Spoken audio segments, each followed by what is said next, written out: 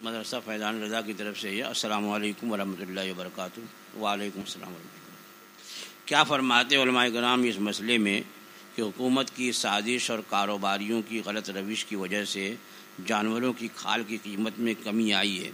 यहाँ तक कि हज़ारों की मालियत के जानवरों की खाल की कीमत पाँच से दस रुपये ही मिल जाती है। जैसा कि तजर्बा से साबित है, हालाँकि पहले ऐसा न था। बल्कि छोटे से छोटे जानवर की खाल की कीमत भी 200 से 300 रुपए तक मिल जाती थी। अब सवाल ये कि क्या ऐसी सूरत में एहतजाजन जानवरों की खालों को दफन कर देना या किसी भी तरह बर्बाद करना जायज़ है? अजरू शरा जवाब है।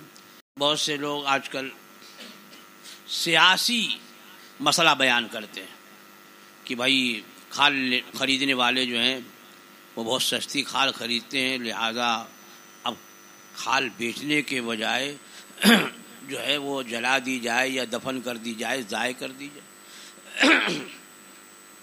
सियासी मसला।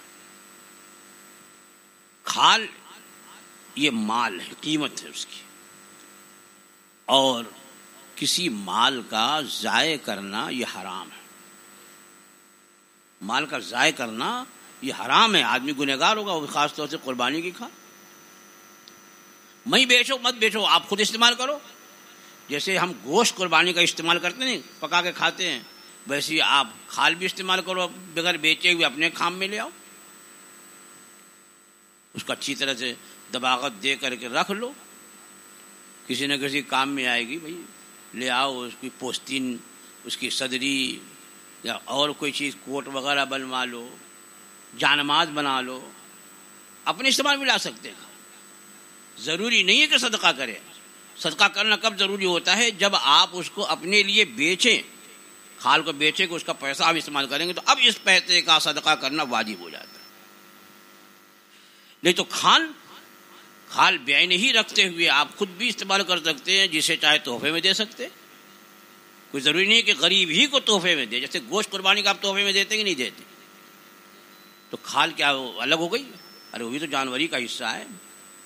तो जिस तरह गोश्त आप हदिये में, तोहफे में अपने मुसलमान भाई को वहाँ भेजते हैं, बदअकीदों को मत दीजिए बल्कि मुसलमान, सुन्नी मुसलमान को दीजिए। वैसी खाल भी।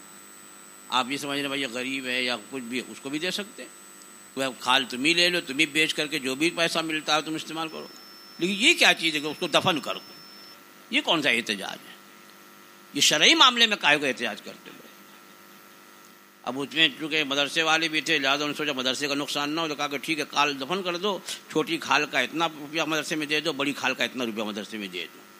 यानी मदरसे का तो घाटा नहीं होगा, और अपने माल ज़ाय करते रहो। उसकी बेहतर सूरत ये भी हो सकती है कि हर इलाके में एक कमेटी बनाई जाए, वो एक जगह ले करके और लोगों की खाल वसूल करके उस जगह पे दबाकत वगैरह का इंतज़ाम करे क्योंकि दबाकत देने के बाद फिर खाल ख़राब नहीं होती। ये जो ताजिर जो है ना, वो इसी तरह से कि जल्दी से बेच देंगे, वरना दो, कल तक, परसों तक तो खाल ख़राब हो जाएगी। तो आप अगर ऐसा इंतज़ाम करें कि उसकी दबाकत वगैरह का इंतज़ाम हो दबाकत दे दी जाए और उसके बाद फिर उस खाल को महफूज रखें और इतमान से अच्छी कीमत पे फरोख करें।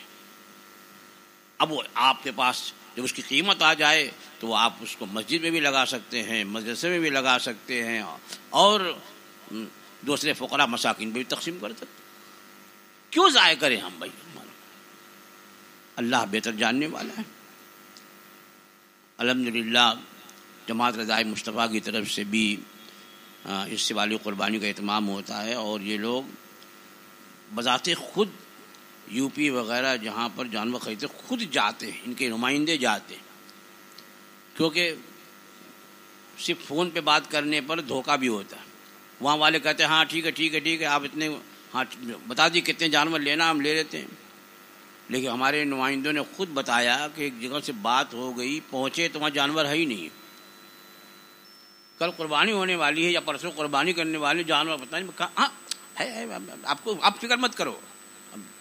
अभी कहाँ है? हम भी तो देखें। सब हो जाएगा, सब हो जाएगा। अब तक नहीं खरीदा, अब क्या खरीदेगा? तो ये बहुत चला हुआ है। इसलिए बड़ी एहतियात की ज़रूरत है। आदमी आजकल किसी भी नफ़े को हासिल करने के लिए सब कुछ अपना खो देता है। अल्लाह ताला हम सब लोगों को नेक तौफीक दे और हमें खलूस लाहियत के साथ हर अमल करने की तोफ़ी अता फ़रमाए।